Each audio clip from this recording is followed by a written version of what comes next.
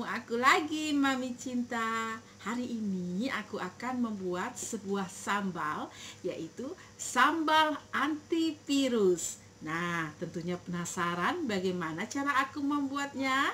Dan juga aku akan makan siang bersama suami tercinta.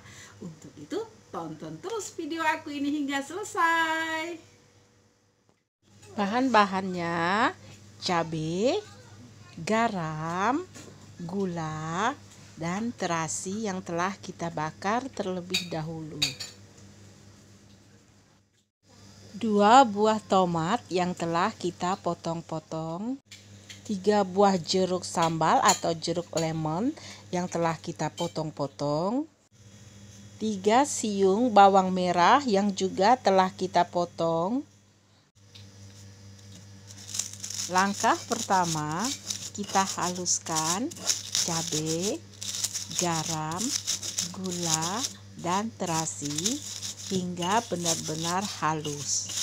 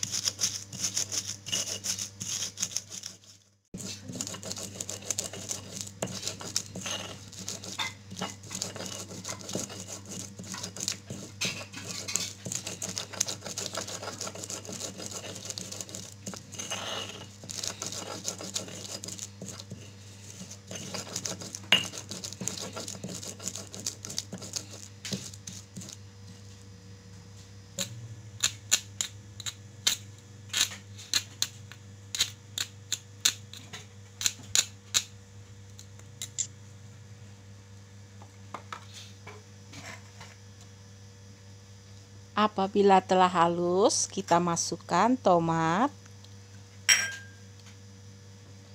kulit jeruk lemon, dan bawang merah. Kita aduk semua bahan hingga tercampur dengan rata.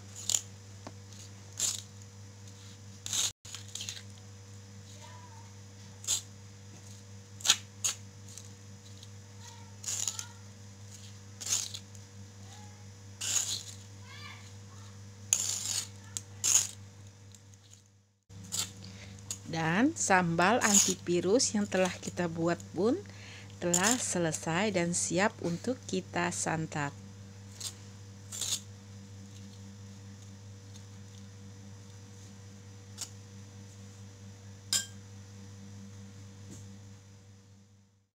Ini dia teman-teman sambal antivirus yang telah kita buat tadi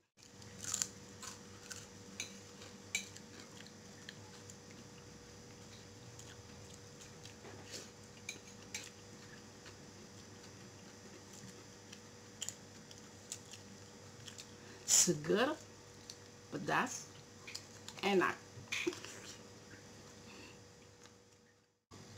You must try it in home.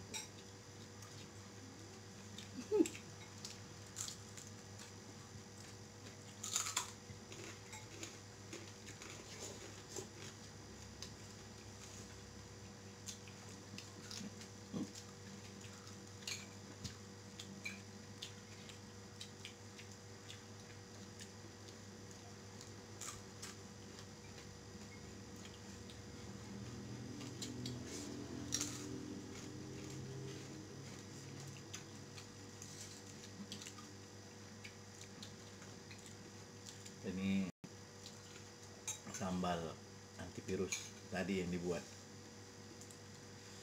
Good. Pedas gurih dan menendang. Mencar pokoknya liur anda akan tercahar terutama virus-virus